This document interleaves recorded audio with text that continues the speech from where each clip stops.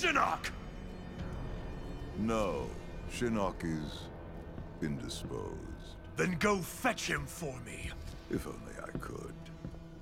I am Quan Chi, in charge of this realm, until the Master's return. And who do I have to thank for ruining my rug?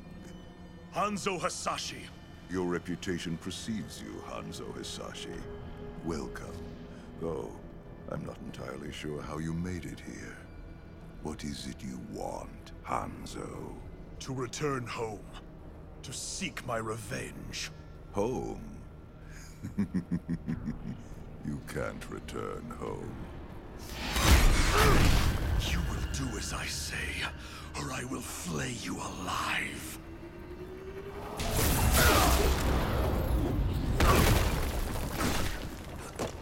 Did you think me defenseless, dog?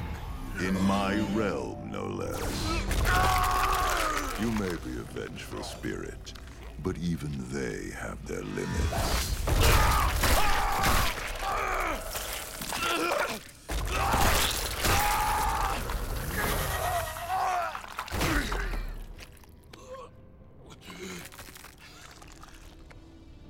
Besides, that's not what you really want, is it?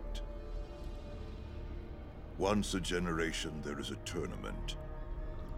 During that time, the veil is lifted, so that warriors may gather to fight on behalf of their realm.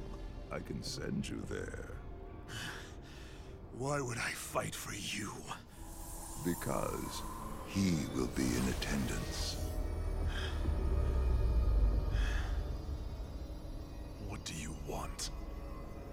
Good. Skilled and smart. Long ago, my master Shinnok was unjustly imprisoned. This is the key to his release. It's being kept at the Temple of Shang Tsung, the putrid mortal that has the favor of the Emperor of Outworld. The tournament will take place on his island. Get me that key. Once my master is released, he can return your family, even you, back to the mortal realm. Do we understand each other, Hanzo?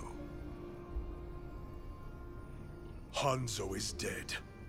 Call me Scorpion.